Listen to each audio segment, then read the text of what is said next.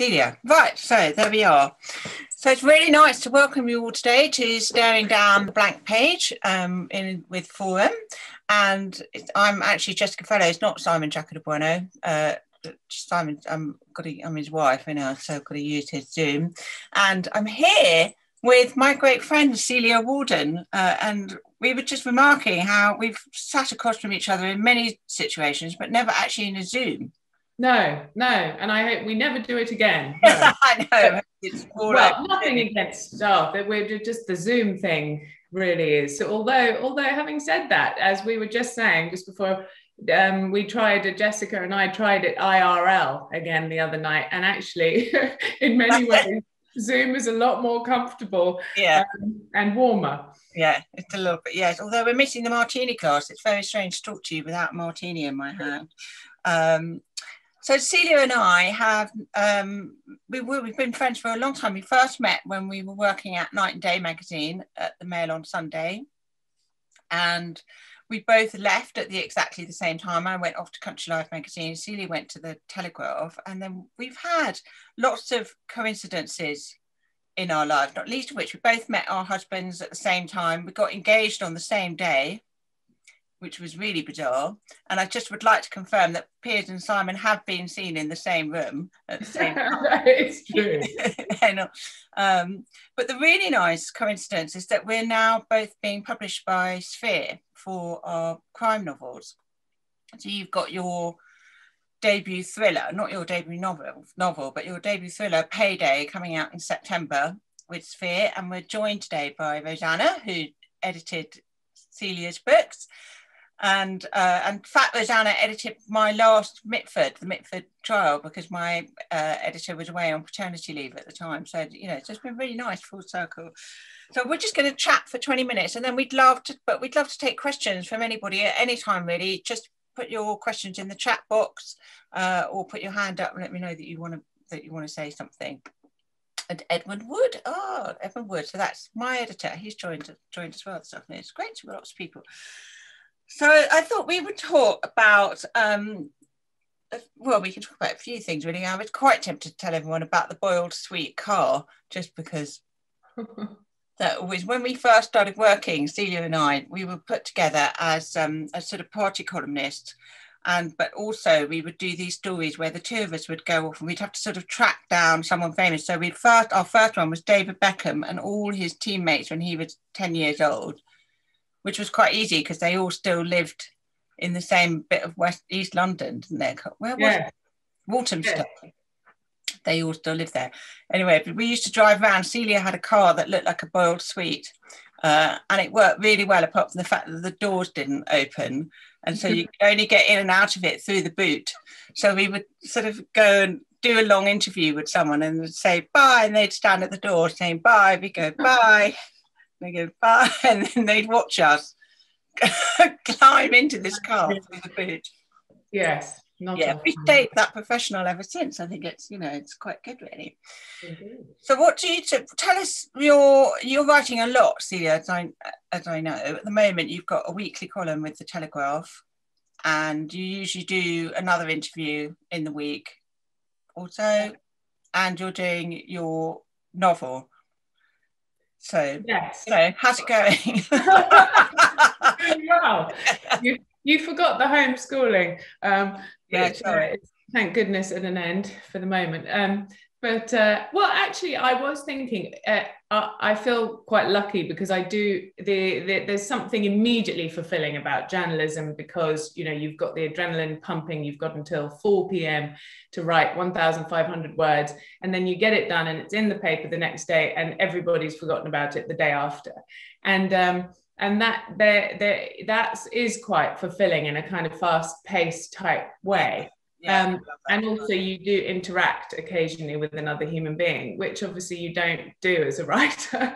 And so so so i feel i do have the best of both worlds because because i enjoy sort of plunging myself into a book um, uh, because i because i have those moments. But i think if i were really sort of in just in one room writing one book after another I, I do think that would get quite lonely probably find that. Although, I mean, the way it's what what's been so nice for me has been um, you getting more into the novel writing recently because it's meant we've I mean, we will email each other. Sometimes we'll email each other sort of, you know, 10, 15 times in a day, kind of very short, quite silly emailed.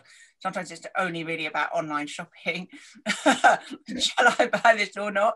But I love that. But it's given me that sense of being with a colleague all day, which has been really nice. You've definitely mm. made my writing life a lot less lonely from that point of view. And then recently we've been talking more about our novels Yes, and I think also the, the, the, kind of mad questions that two novelists ask each other. I mean, if you listen to any of our conversations in a in a in a pub, you, if you were sitting at the next door table, you would think we were completely insane, because uh, because you're talking for a start about people who don't exist, um, and and uh, um, and and I do like it when you email me things like and say, um, you know, can can we have this woman be be this weird, look like this, and you know, sort of how many ways can you kill someone with with a letter opener? You know, would this one be sort of acceptable? Yeah. Those kind of even, you know, they're they're great.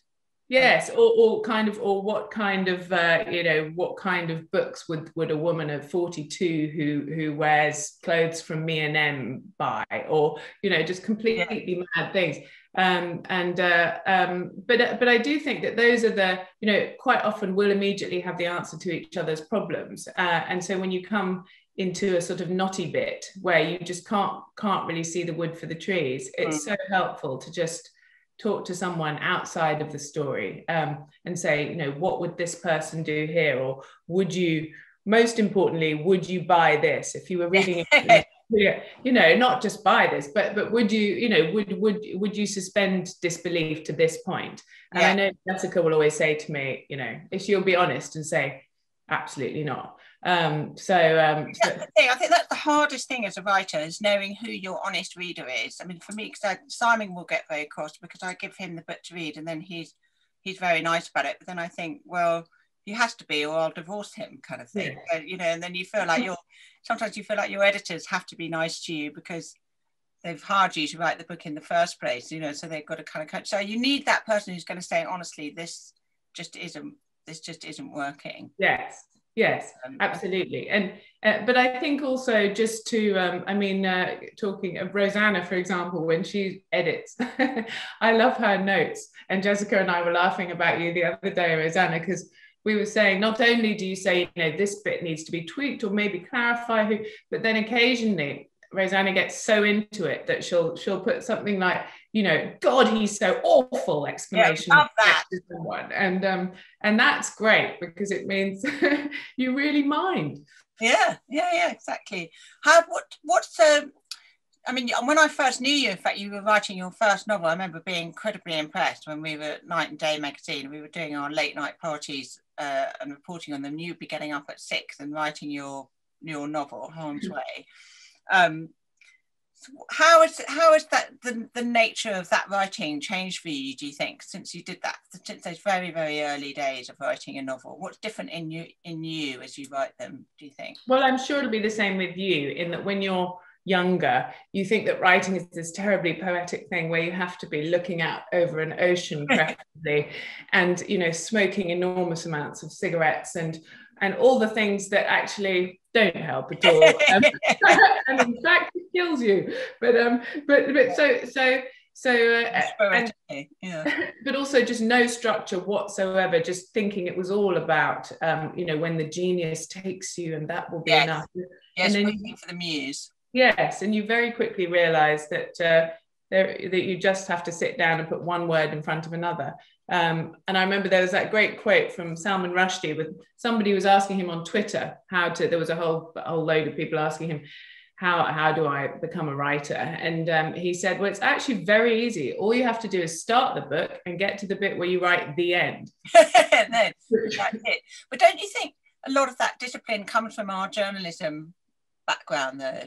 The fact that you're the fact that you're you have to write your 1500 word features in a day means you know you can write 1500 words in a day. So once you've got that physical ability that sort of backs you to get get to the end of it. Nevertheless we do have those days when you just can't get past 500 day 500 words.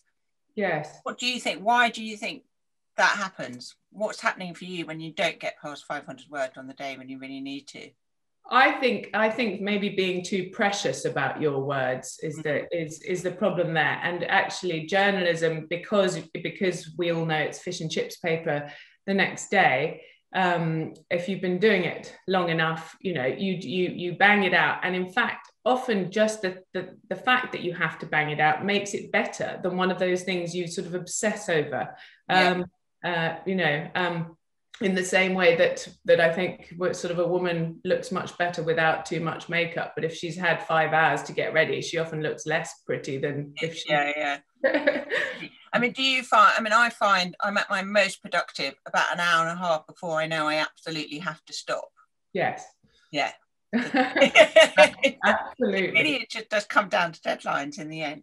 Did you have any um what you know what for you was the transition from non-fiction to fiction? What did you find hard or, or easy about about that?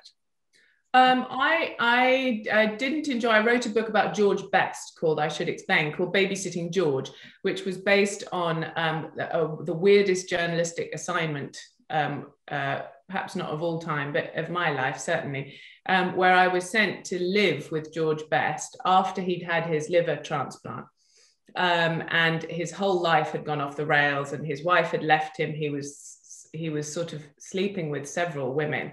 Um, uh, and um, all of whom were intermittently selling their papers to the daily telling selling their stories to the daily star or the sun.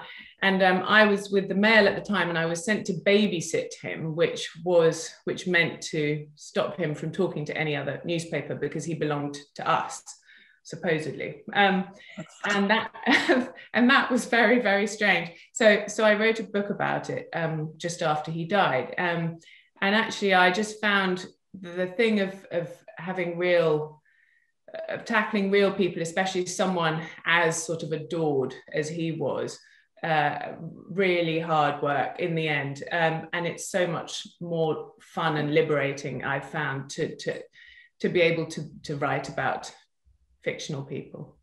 But do you have you found it? I just sometimes find I found in the, uh, sort of the first few novels, not so much now, but in the first few novels, and I've got the same sort of thing where I'm dealing with real people in my in my books. Um, so a lot of what I do has to be backed up with historical research and so on. Then I've got my fictional characters, but I, I kept sometimes you think I really just want to be able to look this person up and then just use those qualities. Yeah. It's quite hard to imagine it. I mean, we have, you and I know, we've both done it with our characters. We find photographs of people and kind of use them. You know, I've always got them photographs on oh, yes. what I, uh, I my characters look like. You I won't show you, I won't show you the ones I've got there. I was thinking of showing, but then it's got someone that we both know who, who, I think is absolutely awful. And he and he and he's the he's the um he's the main villain of my new book just I mean facially and and sort yeah, of his characteristic but actually I remember my husband getting in, incredibly worried because the uh, payday um the book uh, that I've just finished that's coming out in September is uh the um, the main character in many ways in terms of his facial expressions and the way he behaves uh, was sort of very very loosely based on Jamie Theakston but but not at all his character just physically um, and so I had on my desktop various YouTube um, videos of Jamie well, as well as sort of you know pictures there. And my husband came up to ask me something one day and said, "What what is going on with you and Jamie Theakston? Is there something I should know about?" I know, um, but it is that that question that one gets asked all the time. You know, is it is it based on anything in real life? And you always, you know, I know we both have had, you know, you feel a bit of caution sometimes about putting in a certain story in case people think this is a, a, a reflection of what is actually happening to you. But the truth is, you do base quite a lot in real life, don't you? You can't help it. Oh, I mean, no. No, but I think bits of. So you know, you might have of, yes, but you've not one whole picture. You have no. not one person you've just completely transplanted. Exactly. I think that's where people get things uh, wrong because they they think yes, you've just summed up someone when in fact it might be a snapshot from a party of the yeah. way a wife has behaved towards her husband, you know, combined with your next door neighbor, combined with someone you yeah. were at school with. Something you um, saw once. Yeah, exactly, exactly. So we've got a question here, and I'd love to get some more questions from anyone. Question from Paul Nuda. Um, he says, "How do you get to the point of putting the first sentence on paper, and does it survive the night?" The 1st mm-hmm. sentence. Well, it's a good question, really. That very blank sheet of paper. How blank? What's the blankest sheet of paper you've ever written on? You know, with the first sentence. I mean, mm-hmm. paid. Actually, payday. Remember the story? T- tell the tell us the story of how you thought of payday in the first place, because it came to you. What the um the yes, well you were going um, to talk about another book with your agent, and then you said literally in almost in the moment of standing up to say yeah.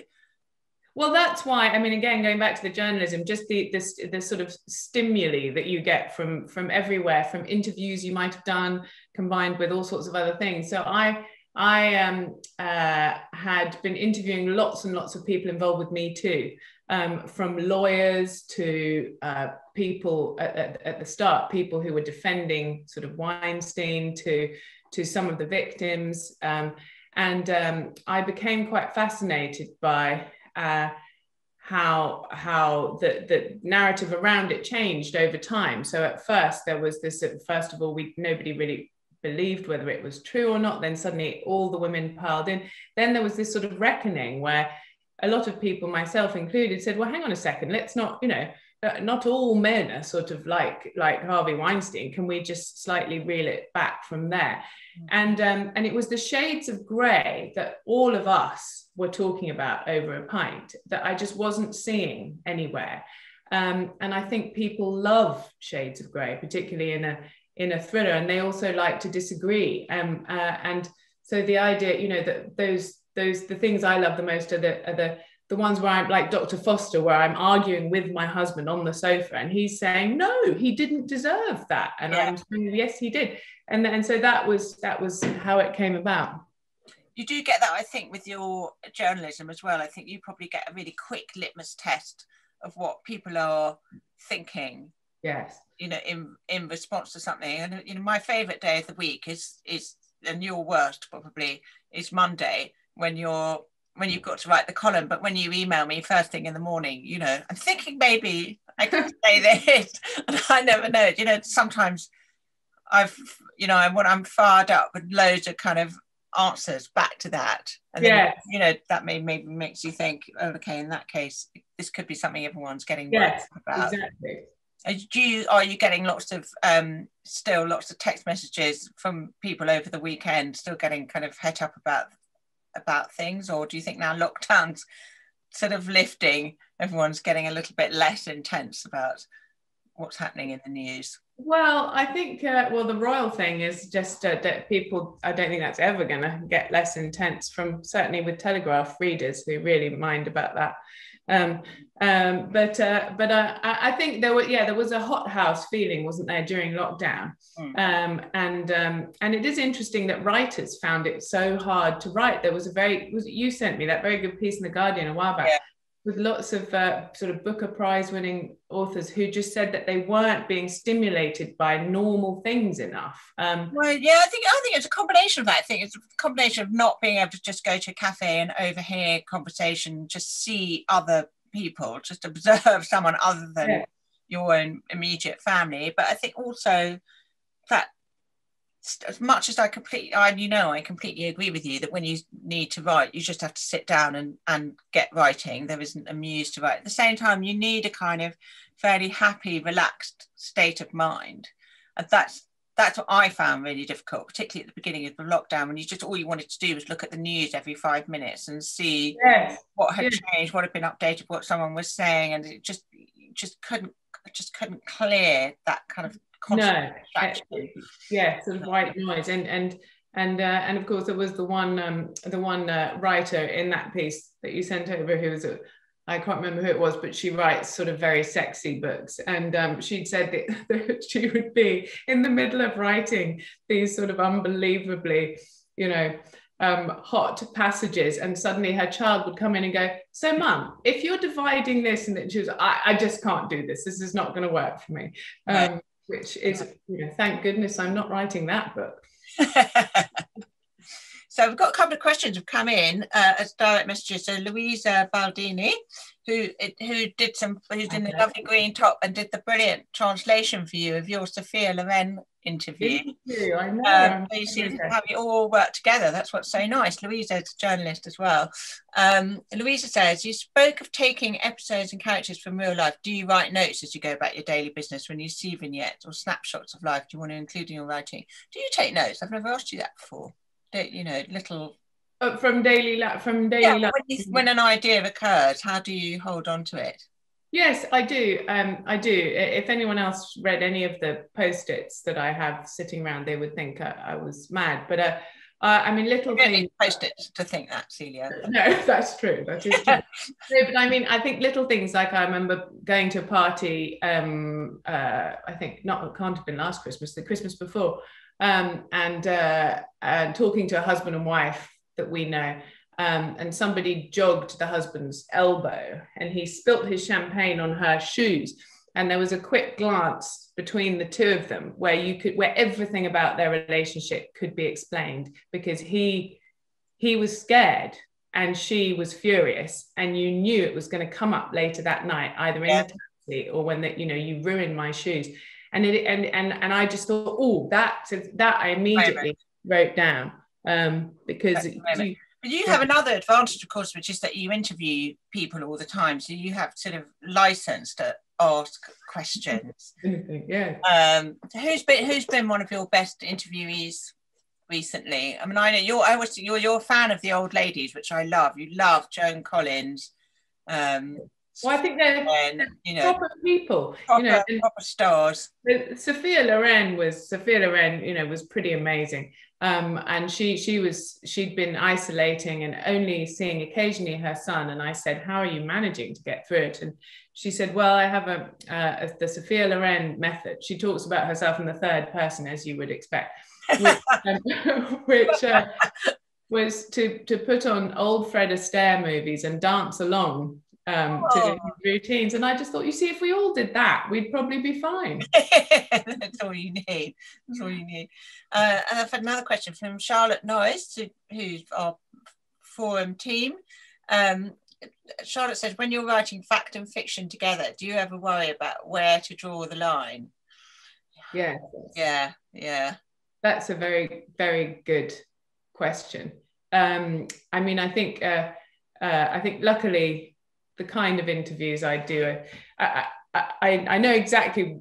Yes, and I think it's a it's a, what what can be tricky, and you have to remind yourself is particularly sometimes in the same day you might go from at the moment, for example, today I went from researching an actress I'm going to interview tomorrow to writing my book and um, and I think sometimes in your head the two things can sort of get mixed up and you yeah um, but then, uh, um, and or you can be tempted to sort of dramatize um, uh, aspects mm-hmm. of an interview with someone. But then, I mean, that's also a part of journalism is to pick out the very juiciest bits of a chat with somebody and make sure that you're that you're you, you know titillating the reader as well as as as, as well as telling the truth obviously that's hard now. I mean, I can remember Joe Malabar, or do you remember the deputy editor of Night and Day yeah. magazine? And she would send us off with these interviews. I was always hopeless at interviews. You were always really good at them.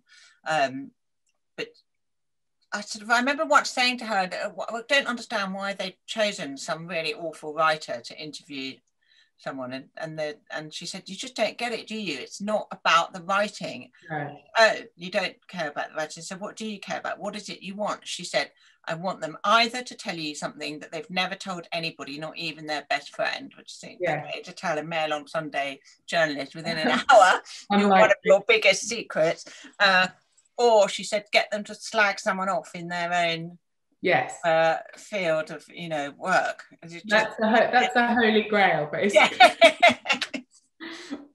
uh, it's quite tricky because you're aware that that the sub editors will write headlines. You know, do you remember we? I mean, we had it quite a few times where the sub editor yeah. write something. Was like, that wasn't actually the point I was trying to make in no. the interview. It was early clickbait, I guess. Yeah. Now what clickbait is. Yeah. Really, what do you think has really changed in journalism since we first started? Well, I think you've just said it in, in terms of because everyone can now, um, you know, within a day or not even within hours, mm. um, my editor will know exactly how, how, how many times a piece I've written has been viewed, how long people have spent reading it, whether they've, you know, quickly gone on to something else. And so, you know, they there are these... that information. Do they feed that back to you and say this has been a successful piece and this has? Yeah, absolutely and and so but the problem with that is that obviously um, uh, you know it can reduce everything to one topic so if i write about meghan markle it will get an enormous amount of hits online because it's, it's her it's got nothing to do with anything i've written or my writing it's mm. just because it's her mm. um, and um, and that and so ultimately you know it it can be problematic because you can end up just um, if you only do it for that then then you will end up writing about the same sort of three things over and over again. So what do you how do you tackle that with your editors? How do you prevent that from happening from them just saying only Meghan Markle articles from now on? Well, I mean, I'm lucky because I think they they um, you know are not they know that Telegraph readers are um, intelligent uh, human beings and nuanced people who are. I mean, I'm not going to compare them to. to other newspapers readers. Yeah. Um, but uh, but I think that they uh, um, are crucially they're not actually mean people at all. Um, and so if they feel that you've you've gone in too hard or you've been unfair to someone, they always let you know. Mm. Um, and uh, um, and and I think also that that you know they have a very big breadth of of interests. So so luckily uh, for the moment. Um, you know we are okay with that. But i think it, i mean that's a problem generally with every publication. Are you are you putting forward lots of ideas for who you would like to interview? Are you just sort of making sure you get your balance that way? Do you suggest? Yes. I mean i don't i i just uh, always want to go for the old people. I think everyone i don't think anyone should ever interview someone beneath the age of 20 really because what on earth could they possibly have to tell us all? Um, but uh, and you know unfortunately that does cancel out sort of lots of the hollywood starlets and so on. So you yeah. so, well we've talked a lot i know we've talked a lot where i'm always trying to dissuade you from interviewing actors any any further um, only because as mm. I get older, I'm less interested in reading. I still want to watch their films. Yes. Less interested in reading the interviews. And also, aren't you prohibited from asking so many questions now? Hasn't that changed too? Well, yes, that's quite right. Yeah, the, the, it has become so um, overly sort of managed and guarded now. So, for example, the actress I'm going to interview tomorrow, there'll be four other people present while I interview her. Um, four. It's on Zoom because she's in LA. Um, but even even face to face now, there will quite often be at least one. Um, with any of the big American stars, there, there will always be at least one. Um, when I interviewed Beyonce, there were three, and she also brought along her own video recorder to video me asking her the questions in case there was, case there was any sort of discussion. Yes, yes. So does that? What does that? Does that affect you in the way that you interview them, or have you managed to kind of? Well, I think the only way interviews really work is if you have a if you have any kind of normal human dynamic, and it's very hard to have one um, with yeah. that with, with, that sort of thing going on. Um, uh, but then I get it because from their point of view, with with social media, there's actually, in a way, there's no upside at all to them giving interviews. Um, I'm surprised that they they still exist. Yeah, yeah, exactly. Well, thanks. That's that's Hubbard five. That's 30 minutes. I could go on, as you know, for another four and a half hours, you know, with a few more martinis uh, to ease us on the way. Let's hope Next we do that again soon.